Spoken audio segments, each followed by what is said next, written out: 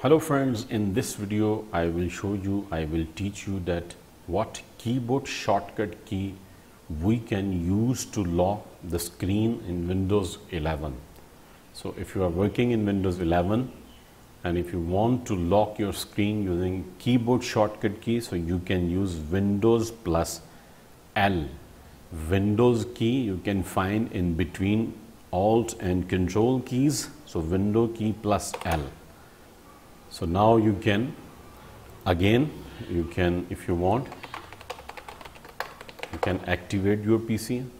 So if you want to lock it use window plus L and then you can unlock it by click on your mouse and then type your password if you have set. And uh, so this is a keyboard shortcut key very easy method. You can use to your to lock your screen in windows 11 thank you so much for watching please subscribe to my channel